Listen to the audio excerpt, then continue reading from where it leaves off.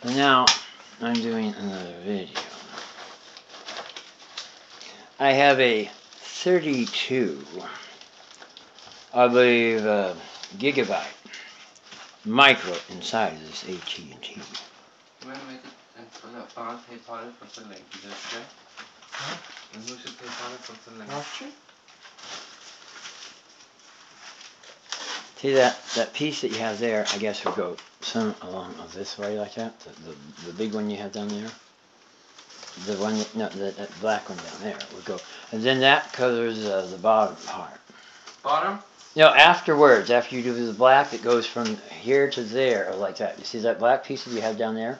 uh-huh Down there. oh you want this up here No, I want it after you put the plastic on. oh you want this black one up here too Yeah, you want the black piece to go about this to, over here. That black piece to go up there and oh, around. want, oh okay so you want In a rectangular shape. you want it to match Uh, over there, like about there. That's perfect right there, you see? oh like now you see about there. oh okay That's good, you see? You, Yeah. you have totally covered it. That's what I'm trying to say. You see what I mean? I see what you mean Now you see, it's they call it teamwork that way. yes sir You see, when I was in the Air you are Force, the you are the boss and you if you approve we're happy well, yes, you're the team leader actually well, team leader I, I, I, I, you know, there was a thing when I was, uh, um, only the lead mule gets a change of scenery. Isn't that kind of funny? yeah Like uh, when the uh, when they were going through Death Valley with a 20 mule team borax, whatever the donkeys and mules. You know, there was this thing uh, by Isaac Asimov called Foundation. It was about the future, and there was this one man they called him the Mule, and he was a psychic man who could get inside your head and twist your mind and have you do anything he wanted to. But these people they were kind of the psychics too. They were on the good side.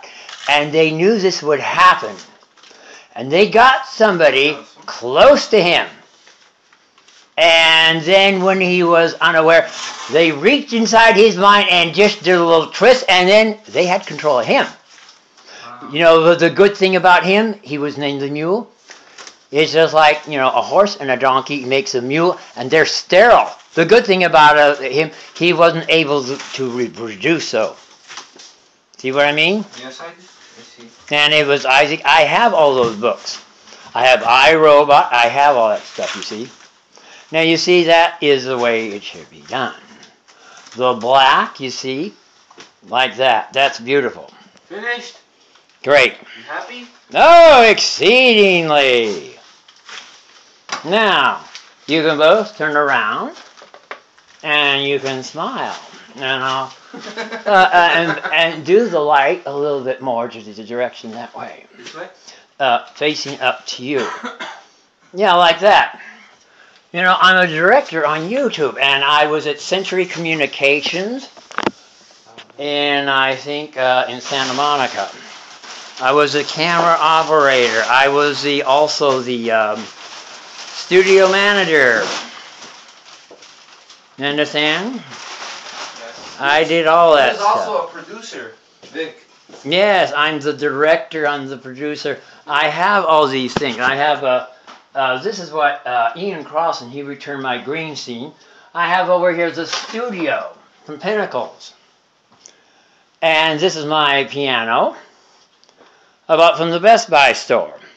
It's a Casio LK keyboard. And sometime in February, I'm supposed to be going to the LACC college for music, but I know everything about it, really. So you kind of stand there, both of you there, We see the light there like that, you see? And no, you go over to his side. over here Yeah, you go there, like there. Yeah, there. That's, that's, good.